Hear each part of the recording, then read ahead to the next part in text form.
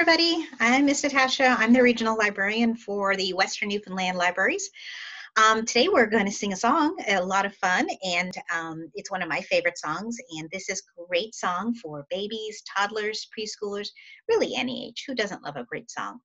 Um, and we're going to be introducing opposites. So this is a great song to introduce the concept of opposites and what they are and what they mean. And you can um, do opposites all day long. So if parents, if they go in the room, have them go out the room. If they go upstairs, have them go downstairs. If they go fast, tell them to slow down. And those are the opposites that we're going to be singing about today in this song called Roly Poly. So get ready. We're going to do a little bit of movement as well. So we're going to be working on those arm muscles. Ready? Here we go.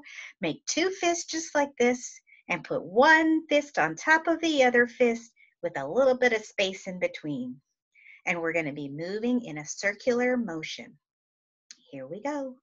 Roly poly, roly poly, up, up, up, roly poly, roly poly, down, down, down, roly poly, roly poly, out, out, out. Roly poly, roly in, in, in. Roly poly, roly poly, fast, fast, fast.